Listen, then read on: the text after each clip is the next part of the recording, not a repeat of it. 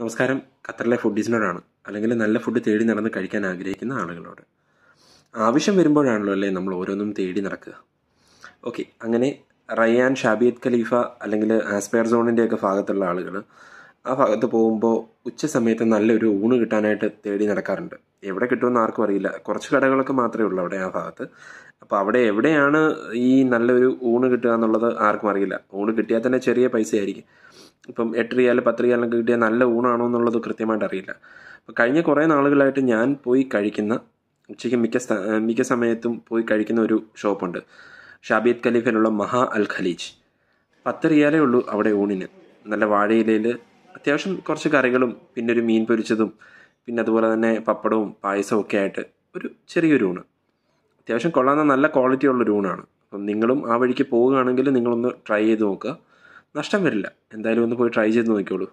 നല്ല ക്വാളിറ്റി ഉണ്ട്.